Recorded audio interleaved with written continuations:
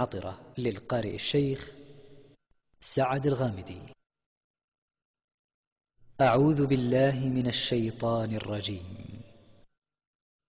أتأمرون الناس بالبر وتنسون أنفسكم وأنتم تتلون الكتاب أفلا تعقلون؟ واستعينوا بالصبر والصلاة وإنها لكبيرة إلا على الخاشعين الذين يظنون أنهم ملاقو ربهم وأنهم إليه راجعون يا بني إسرائيل اذكروا نعمتي التي أنعمت عليكم وأني فضلتكم على العالمين. واتقوا يوما لا تجزي نفس عن نفس شيئا. ولا يقبل منها شفاعة ولا يؤخذ منها عدل ولا هم ينصرون. وإذ نجيناكم من آل فرعون يسومونكم سوء العذاب. يذبحون أبناءكم ويستحيون نساءكم وفي ذلكم بلاء من ربكم عظيم وإذ فرقنا بكم البحر فأنجيناكم وأغرقنا آل فرعون وأنتم تنظرون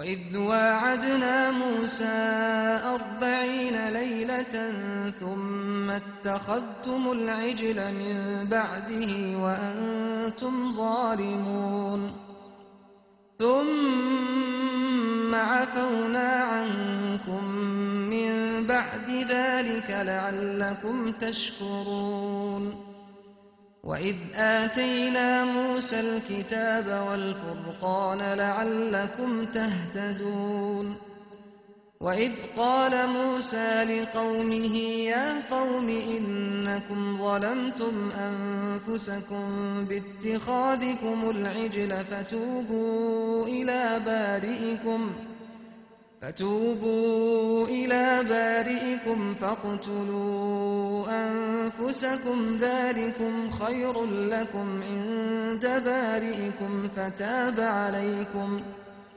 إنه هو التواب الرحيم وإذ قلتم يا موسى لن نؤمن لك حتى نرى الله جهرةً فأخذتكم الصاعقة وأنتم تنظرون.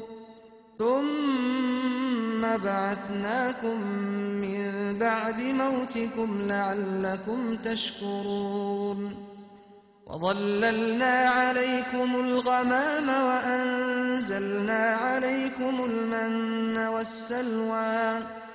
كلوا من طيبات ما رزقناكم وما ظلمونا ولكن كانوا أنفسهم يظلمون.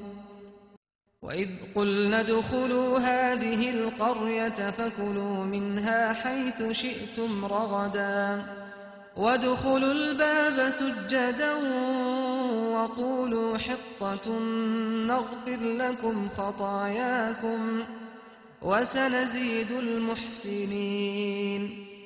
فبدل الذين ظلموا قولا غير الذي قيل لهم فأنزلنا على الذين ظلموا رجزا من السماء بما كانوا يفسقون. كنا مع تلاوة مباركة للقارئ الشيخ سعد الغامدي.